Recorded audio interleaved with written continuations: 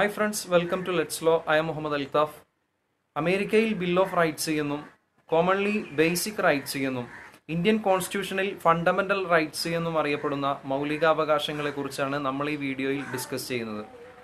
യഥാർത്ഥത്തിൽ fundamental rights അറിയപ്പെടുന്നത് Magna Carta of India എന്നാണ്. ആയിരത്തി ഇരുന്നൂറ്റി പതിനഞ്ചിൽ കിങ് ജോണിന്റെ ഭരണകാലത്ത് ഇംഗ്ലണ്ടിലാണ് മാഗ്ന രൂപപ്പെടുന്നത്. ലോകത്താദ്യമായി തന്നെ പൗരന്മാരുടെ അവകാശങ്ങൾക്ക് വേണ്ടി എഴുതപ്പെട്ട ഒരു രേഖ ഉണ്ടെങ്കിൽ അത് മാഗ്ന കാർട്ടയാണ് അത്രത്തോളം പ്രാധാന്യം മൗലികാവകാശങ്ങൾക്കുള്ളത് കൊണ്ട് തന്നെയാണ് മാഗ്ന കാർട്ട ഓഫ് ഇന്ത്യ എന്ന് ഫണ്ടമെന്റൽ റൈറ്റ്സ് അറിയപ്പെടുന്നത്. അപ്പോൾ നമ്മൾ ഇന്ത്യൻ കോൺസ്റ്റിറ്റ്യൂഷനിലേക്ക് വരുന്ന സമയത്ത് പാർട്ട് ത്രീയിൽ പന്ത്രണ്ട് മുതൽ മുപ്പത്തഞ്ച് വരെയുള്ള ആർട്ടിക്കിൾസ് ആണ് ഫണ്ടമെന്റൽ റൈറ്റ്സിനെ കുറിച്ച് സംസാരിക്കുന്നത്. ഈ ഒരു ആശയം നമ്മൾ കടമെടുത്തിരിക്കുന്നത് അല്ലെങ്കിൽ ഈ ഒരു ഇൻസ്പിറേഷൻ നമ്മൾ ഉൾക്കൊണ്ടിരിക്കുന്നത് യു എസിലെ ബിൽ ഓഫ് റൈറ്റ്സിൽ നിന്നാണ്. ഭരണഘടനയിൽ മൗലികാവകാശങ്ങൾ ഉൾപ്പെടുത്തുക വഴി നമ്മുടെ കോൺസ്റ്റിറ്റ്യൂഷണൽ ഫ്രെയിമേഴ്സ് അഥവാ ഭരണഘടനാ ശില്പികൾ പ്രധാനമായും ലക്ഷ്യമാക്കിയത് to promote political freedom of citizens ഇന്ത്യയിലെ പൗരന്മാരുടെ പൊളിറ്റിക്കൽ ഫ്രീഡം പ്രൊമോട്ട് ചെയ്യുക എന്നുള്ളതാണ്. എക്സിക്യൂട്ടീവിന്റെ സ്വേച്ഛാധിപത്യത്തിനും അതുപോലെ തന്നെ ലെജിസ്ലേച്ചറിന്റെ അഥവാ നിയമനിർമ്മാണ സഭയുടെ ആർബിട്രറിയായ ഏകപക്ഷീയമായ നിയമനിർമ്മാണത്തിനും തടയിടാൻ ഈ പൗരന്മാർക്ക് സാധിക്കുന്നത് ഫണ്ടമെന്റൽ റൈറ്റ്സ് വഴി. മറ്റൊരു പ്രധാനപ്പെട്ട കാര്യം നമുക്കിവിടെ ഡിസ്കസ് ചെയ്യാനുള്ളത് എന്തുകൊണ്ടാണ് മൗലികാവകാശങ്ങൾക്ക് ഫണ്ടമെന്റൽ റൈറ്റ്സ് അഥവാ ഫണ്ടമെന്റൽ എന്നൊരു പദം അവിടെ ഉപയോഗിക്കാൻ കാരണം? അത്തരത്തിലൊരു പേരിടാൻ കാരണം എന്താണ്? പ്രധാനമായും രണ്ട് കാരണങ്ങളാണ് അവിടെ ചൂണ്ടിക്കാണിക്കപ്പെടുന്നത്. ഒന്ന് കോൺസ്റ്റിറ്റ്യൂഷൻ എന്നുള്ളത് ഫണ്ടമെന്റൽ ലോ ഓഫ് ലാൻഡ് ആണ്. അത്തരത്തിൽ ഫണ്ടമെന്റൽ ലോ ഓഫ് ലാൻഡ് ആയിട്ടുള്ള കോൺസ്റ്റിറ്റ്യൂഷൻ പ്രൊട്ടക്ട് ചെയ്യുന്ന ഗ്യാരണ്ടി ചെയ്യുന്ന റൈറ്റ്സ് ആയതുകൊണ്ടാണ് ഫണ്ടമെന്റൽ റൈറ്റ്സ് എന്ന് പേരിടാൻ കാരണം. മറ്റൊരു കാരണം ചൂണ്ടിക്കാണിക്കപ്പെടുന്നത് സിറ്റിസൺസിന്റെ മെറ്റീരിയലായ അഥവാ ഭൗതികവും ദൈക്ഷണികവും ധാർമ്മികപരവുമായ ആത്മീയപരമായ ഓൾറൗണ്ട് ഡെവലപ്മെന്റ് എസെൻഷ്യൽ ആയിട്ടുള്ള റൈറ്റ്സ് ആണ് ഫണ്ടമെന്റൽ റൈറ്റ്സ് മൗലികാവകാശങ്ങൾ. അതുകൊണ്ട് തന്നെയാണ് ഫണ്ടമെന്റൽ റൈറ്റ്സ് എന്ന് പേരിടാൻ കാരണം. ഇത്തരത്തിൽ രണ്ട് കാരണങ്ങളാണ് അവിടെ ചൂണ്ടിക്കാണിക്കപ്പെടുന്നത്. ഫണ്ടമെന്റൽ റൈറ്റ്സിന്റെ മറ്റു ചില പ്രത്യേകതകൾ കൂടി ഞാനിവിടെ സൂചിപ്പിക്കാം. നമ്മൾ ഓൾറെഡി പറഞ്ഞൊരു കാര്യമാണ്. സ്റ്റേറ്റിന്റെ അൺലിമിറ്റഡ് ആയിട്ടുള്ള പവർ ചെക്ക് ഓൺ ചെയ്യുന്നത് അഥവാ ഇൻവെസ്റ്റിഗേറ്റ് ചെയ്യുകയും അതിനെ വിലയിരുത്തുകയും ചെയ്യുന്നത് ഫണ്ടമെന്റൽ റൈറ്റ്സ് ആണ്. അതുപോലെ തന്നെ മൗലികാവകാശങ്ങൾ നമുക്ക് ലഭ്യമാകുന്നത് സ്റ്റേറ്റിന് അഗെയിൻസ്റ്റ് ആണ് നോട്ട് അഗെയിൻസ്റ്റ് പ്രൈവറ്റ് വ്യക്തികൾക്കെതിരിലല്ല. അതുപോലെ തന്നെ മൗലികാവകാശങ്ങൾ ഒരിക്കലും അബ്സല്യൂട്ട് അല്ല. സ്റ്റേറ്റിന് വേണമെങ്കിൽ റീസണബിൾ ആയിട്ടുള്ള റെസ്ട്രിക്ഷൻസ് ഇമ്പോസ് ചെയ്യാൻ സാധിക്കും. മറ്റൊരു കാര്യം നാഷണൽ എമർജൻസിയുടെ സമയത്ത് ആർട്ടിക്കിൾ പത്തൊൻപത് ഓട്ടോമാറ്റിക്കലി സസ്പെൻഡ് ചെയ്യപ്പെടും. പ്രസിഡന്റിന് വേണമെങ്കിൽ അദ്ദേഹത്തിന് മറ്റ് മൗലികാവകാശങ്ങളും സസ്പെൻഡ് ചെയ്യാം. എന്നാൽ അടിവരയിട്ട് നാം മനസ്സിലാക്കേണ്ട ഒരു കാര്യം article twenty and twenty one ഒരിക്കലും സസ്പെൻഡ് ചെയ്യാൻ സാധിക്കുകയില്ല. അടിയന്തരാവസ്ഥ കാലത്ത് പോലും നിലനിൽക്കുന്ന രണ്ട് ആർട്ടിക്കിൾസ് ആണ് article twenty and twenty one. മറ്റൊരു പ്രധാനപ്പെട്ട കാര്യം മൗലികാവകാശങ്ങൾ ജസ്റ്റിഷ്യബിൾ ആണ്. അഥവാ പൗരന്മാരുടെ മൗലികാവകാശങ്ങൾ അവർക്ക് ലംഘിക്കപ്പെടുന്ന സമയത്ത് അഥവാ സ്റ്റേറ്റ് അതിനെ റെസ്പെക്ട് ചെയ്യാത്ത സമയത്ത്. പൗരന്മാർക്ക് ജുഡീഷ്യറിയെ സമീപിക്കാനും അതുപോലെ തന്നെ ജുഡീഷ്യറിക്ക് സ്റ്റേറ്റിനോട് അത് ഇമ്പോസ് ചെയ്യാൻ അത് എംഫോസ് ചെയ്യാൻ ആവശ്യപ്പെടുകയും ചെയ്യാം. മറ്റൊരു പ്രധാനപ്പെട്ട കാര്യം നമുക്ക് ഒറിജിനലി ഏഴോളം ഫണ്ടമെന്റൽ റൈറ്റ്സ് ആണ് ഉണ്ടായിരുന്നത്. Right to equality right to freedom right against exploitation right to freedom of religion cultural and educational rights right to property right to constitutional remedies നാൽപ്പത്തിനാലാമത് അമെൻമെന്റ് ആയിരത്തി തൊള്ളായിരത്തി എഴുപത്തി എട്ടിലെ നാൽപ്പത്തിനാലാം അമെൻമെന്റ് റൈറ്റ് ടു പ്രോപ്പർട്ടി ഡിലീറ്റ് ചെയ്യുകയും അത് പാർട്ട് ട്വൽവ് പാർട്ട് പന്ത്രണ്ടിൽ അഥവാ ആർട്ടിക്കിൾ മുന്നൂറ് എയിൽ ലീഗൽ റൈറ്റായി ഉൾപ്പെടുത്തുകയും ചെയ്തു. നിലവിൽ നമുക്ക് ആറോളം ഫണ്ടമെന്റൽ റൈറ്റ്സ് ആണ് ഇന്ന് ലഭ്യമായിട്ടുള്ളത്. നമ്മൾ ഇനി ഡിസ്കസ് ചെയ്യാൻ പോകുന്ന ആർട്ടിക്കിൾസ് ഒക്കെ ഫണ്ടമെന്റൽ റൈറ്റ്സുമായി റിലേറ്റഡ് ആയിട്ടുള്ള ആർട്ടിക്കിൾസ് ആണ്. ആർട്ടിക്കിൾ ട്വൽവ് ആർട്ടിക്കിൾ ട്വൽവിൽ ഡിസ്കസ് ചെയ്യുന്നത് സ്റ്റേറ്റിന്റെ ഡെഫിനിഷൻ ആണ്. ഡെഫിനിഷൻ ഓഫ് സ്റ്റേറ്റ് നമുക്ക് സിമിലർ ആയിട്ടുള്ള ഡെഫിനിഷൻ ആർട്ടിക്കിൾ മുപ്പത്തി ആറിൽ നമുക്ക് കാണാൻ സാധിക്കും. അഥവാ D P S P start ചെയ്യുന്ന ഭാഗത്ത്. പക്ഷേ അവിടെ പറഞ്ഞിരിക്കുന്ന സ്റ്റേറ്റിന്റെ definition for the purpose of D P S P ആ ഒരു പാർട്ടിൽ ആ പാർട്ട് ഫോറിൽ ആ ഒരു പർപ്പസിന് വേണ്ടിയാണ് അവിടെ സ്റ്റേറ്റിന്റെ ഡെഫിനിഷൻ പറഞ്ഞിരിക്കുന്നത്. ഫണ്ടമെന്റൽ റൈറ്റ്സിൽ ആർട്ടിക്കിൾ ട്വൽവിൽ പറയുന്ന definition for the purpose of part three part ത്രീയുടെ പർപ്പസിന് വേണ്ടിയാണ്. അപ്പോൾ സ്റ്റേറ്റിന്റെ ഡെഫിനിഷൻ അതിൽ പറഞ്ഞിരിക്കുന്നത് executive and legislature of union അതുപോലെ തന്നെ executive and legislature of state local authority അഥവാ പഞ്ചായത്ത് മുനിസിപ്പാലിറ്റികൾ പോലെയുള്ള ലോക്കൽ അതോറിറ്റികൾ പിന്നെ നാലാമത് പറഞ്ഞിരിക്കുന്നത് അതർ അതോറിറ്റി ഇവ നാലും ഉൾപ്പെടുന്നതാണ് സ്റ്റേറ്റ് എന്നുള്ളത്. അപ്പോൾ നമുക്ക് കൃത്യമായി വായിച്ചാൽ മനസ്സിലാകും എക്സിക്യൂട്ടീവ് ആദ്യത്തെ മൂന്നെണ്ണം. ആദ്യത്തെ മൂന്നെണ്ണം വളരെ ക്ലിയർ ആണ്.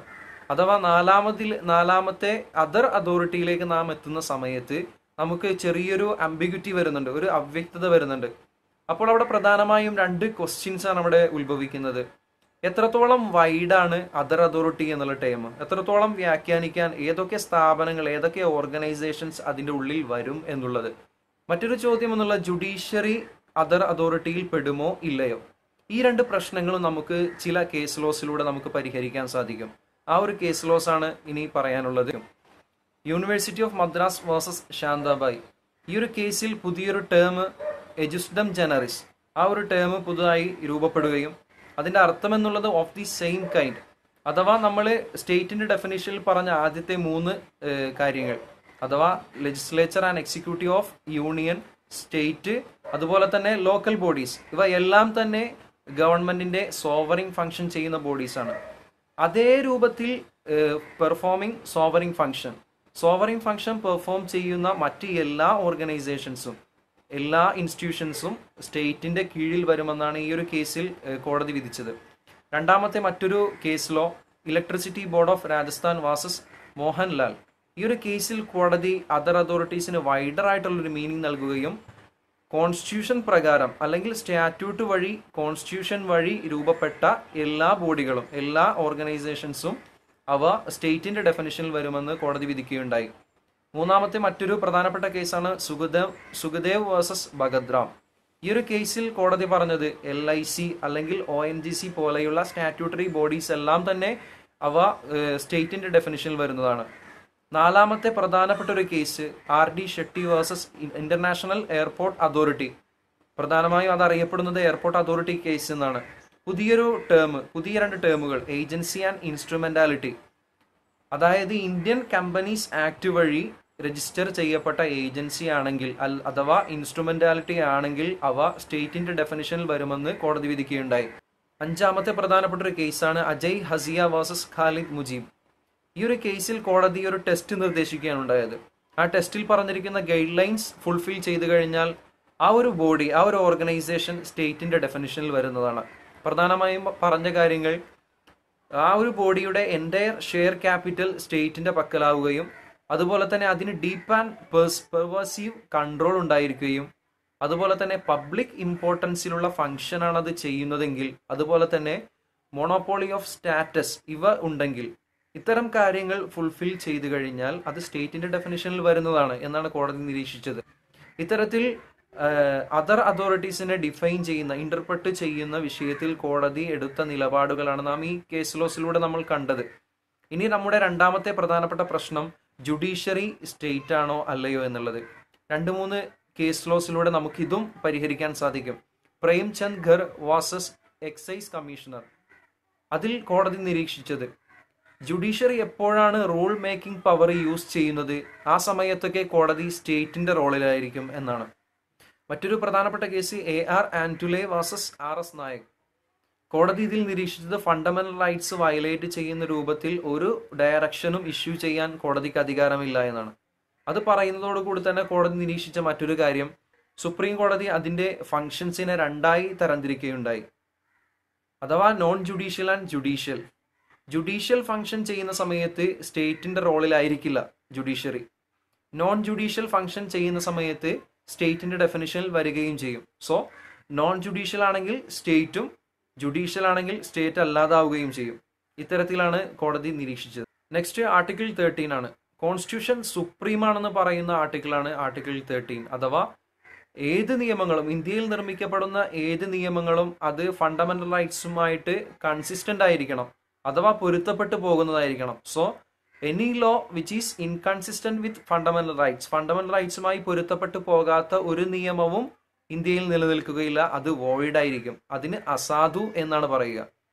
സോ ആർട്ടിക്കിൾ പതിമൂന്ന് ക്ലോസ് വൺ പ്രീ കോൺസ്റ്റിറ്റ്യൂഷൻ ലോസിനെ കുറിച്ചാണ് സംസാരിക്കുന്നത്. അഥവാ ഭരണഘടന നിലവിൽ വരുന്നതിന് മുമ്പ് നിർമ്മിക്കപ്പെട്ട നിയമങ്ങൾ. അവ ഫണ്ടമെന്റൽ റൈറ്റ്സുമായിട്ട് പൊരുത്തപ്പെട്ടു പോകുന്നില്ലെങ്കിൽ അത് വോയിഡ് ആയിരിക്കും.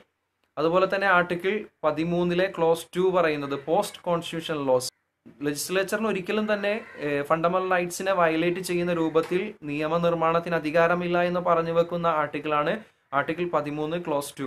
ഇതിലൂടെ കോടതിക്ക് ലഭിച്ചിരിക്കുന്നത് ജുഡീഷ്യൽ റിവ്യൂ എന്നുള്ള ഒരു വലിയൊരു അധികാരമാണ് വലിയൊരു പവറാണ് സോ ഭരണഘടന നിലവിൽ വരുന്നതിന് മുമ്പുള്ള നിയമങ്ങളാവട്ടെ ശേഷം നിലവിൽ വന്ന നിയമങ്ങളാവട്ടെ ജുഡീഷ്യൽ റിവ്യൂ എന്നുള്ള ടൂൾ ഉപയോഗിച്ചുകൊണ്ട് ജുഡീഷ്യറിക്ക് രാജ്യത്ത് നിലനിൽക്കുന്ന എല്ലാ നിയമങ്ങളെയും റിവ്യൂ ചെയ്യാനുള്ള അധികാരമുണ്ട്. ഈ ഒരു ആർട്ടിക്കിൾ ഡിസ്കസ് ചെയ്യുന്ന സമയത്ത് പ്രധാനമായിട്ട് നമുക്ക് രണ്ട് ഡോക്ട്രിൻസ് വിശദീകരിക്കാനുണ്ട്.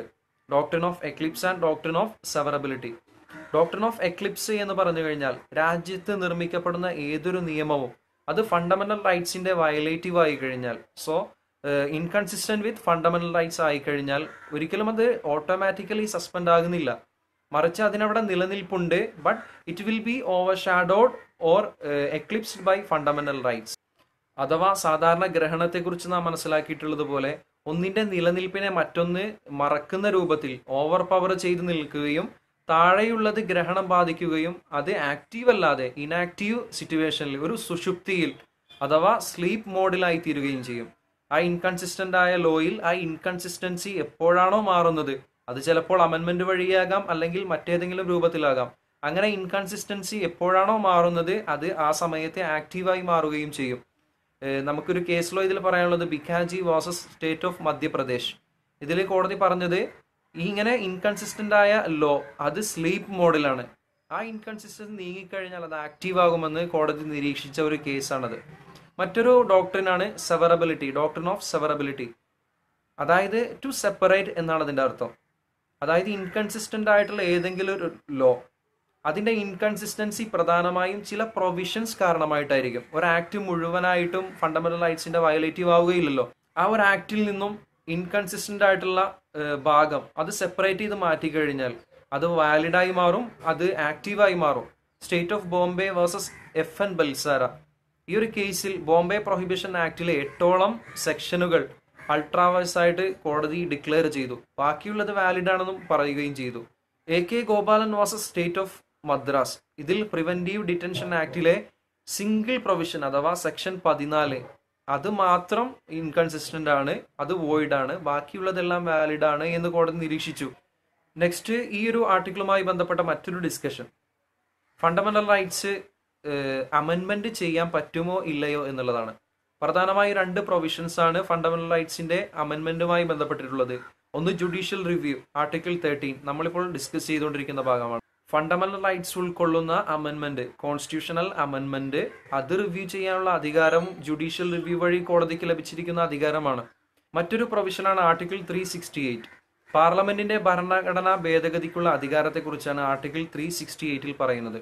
ഇതിൽ പറഞ്ഞിരിക്കുന്ന അധികാരം ഉപയോഗിച്ചുകൊണ്ട് പാർലമെന്റിന് ഫണ്ടമെന്റൽ റൈറ്റ്സ് അഥവാ മൗലികാവകാശങ്ങൾ ഭേദഗതി ചെയ്യാൻ പറ്റുമോ ഇല്ലയോ എന്ന് ചില കേസ് ലോസിലൂടെയാണ് നമുക്ക് നിരീക്ഷിക്കാൻ സാധിക്കുക. Shankari Prasad versus union of India. അതിൽ കോടതി പറഞ്ഞത് ഈ ഒരു അധികാരം ഉപയോഗിച്ചുകൊണ്ട് ഫണ്ടമെന്റൽ റൈറ്റ്സ് കൂടി അമെൻഡ് ചെയ്യാം അഥവാ ഭേദഗതി ചെയ്യാമെന്നാണ് കോടതി പറഞ്ഞത്. ശേഷം Sajjan Singh versus state of രാജസ്ഥാനിലും ഇതുതന്നെ കോടതി ആവർത്തിച്ചു അമെൻഡ് ചെയ്യാം എന്നാണ് പറഞ്ഞത്. പിന്നീട് ഗോലക്നാഥ് വാസസ് സ്റ്റേറ്റ് ഓഫ് പഞ്ചാബിൽ കോടതി നിരീക്ഷിച്ചത്. ആർട്ടിക്കിൾ ത്രീ സിക്സ്റ്റി എയ്റ്റിലുള്ള അധികാരം ഉപയോഗിച്ചുകൊണ്ട് ഫണ്ടമെന്റൽ റൈറ്റ്സ് അമെൻഡ് ചെയ്യാനുള്ള അധികാരം പാർലമെന്റിന് ഇല്ല എന്നാണ്. പിന്നീട് Kesavananda Bharati versus state of Kerala അതിൽ കോടതി നിരീക്ഷിച്ചത്. ആർട്ടിക്കിൾ ത്രീ സിക്സ്റ്റി എയ്റ്റിൽ പറഞ്ഞിരിക്കുന്ന അധികാരം പാർലമെന്റിന് അമെൻമെന്റ് ചെയ്യാനുള്ള അധികാരം അത് ഫണ്ടമെന്റൽ റൈറ്റ്സ് ഉൾക്കൊ ഉൾപ്പെടെ ഏത് ആർട്ടിക്കിളും അമെൻഡ് ചെയ്യാനുള്ള അധികാരം തന്നെയാണ്. പക്ഷേ ഭരണഘടനയുടെ ബേസിക് സ്ട്രക്ചറിനെ കോട്ടം തട്ടുന്ന രൂപത്തിൽ അതിനെ തകർക്കുന്ന രൂപത്തിൽ ഒരു അമെൻമെന്റ് ഒരിക്കലും സാധ്യമല്ല എന്ന് കോടതി നിരീക്ഷിക്കുകയുണ്ട് നമ്മളിന്ന് ഡിസ്കസ് ചെയ്തത് ഫണ്ടമെന്റൽ റൈറ്റ്സിന്റെ പാർട്ട് വൺ ആണ്. നിങ്ങൾക്ക് ഈ ഒരു വീഡിയോ ഇഷ്ടമായെങ്കിൽ നിങ്ങളെ ലൈക്ക് ചെയ്യുക ഷെയർ ചെയ്യുക കമന്റ് ബോക്സിൽ നിങ്ങളെ സജഷൻസ് അറിയിക്കുക. So see you again stay home stay safe